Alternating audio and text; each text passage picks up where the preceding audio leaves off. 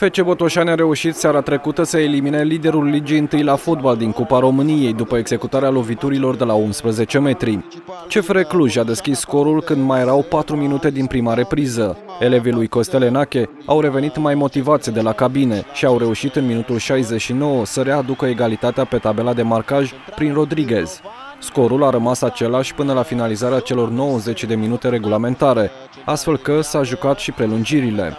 Nu s-a înscris nici în cele două reprize și s-a ajuns la lovituri de la 11 metri. Ardelenii au ratat de 3 ori, iar botoșenenii o singură dată. Scorul după penaltiuri a fost de 4 la 3 în favoarea botoșenenilor. La finalul partidei, tehnicianul Dan Petrescu a tunat și a fulgerat împotriva centralului pe care l-a acuzat că i-a favorizat pe roșii-albaștri. Fosta gloria a Naționalei României este convinsă că CFR-ul a meritat victoria. Meritam să câștigăm, dar fotbalul nu e pe meritate, e pe cine câștigă. Am ratat foarte mult.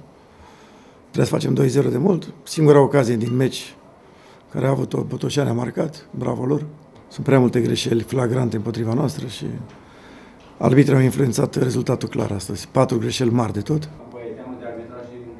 Acum da, înainte nu, dar acum după ce am văzut azi, da. De cealaltă parte, antrenorul botoșenenilor s-a arătat foarte mulțumit de jocul elevilor săi. Am văzut uh, mai mult ca niciodată în seara asta uh, că relațiile dintre jucători pe teren au fost ca, ca și în cadrul unui comando. Autorul performanței este grupul. Grupul de jucători au reușit să facă uh, performanțe. Sunt mulțumit de toți băieții, toți au pus sufletul, toți au pus umărul, toți și-au depus energia maximă care au avut astăzi. Botoșenenii nu au prea mult timp să se bucure. Vor face deplasarea la Sfântul Gheorghe, unde vor întâlni luni formația Sepsi, într-un meci contând pentru etapa a 16-a a Ligii întâi la fotbal.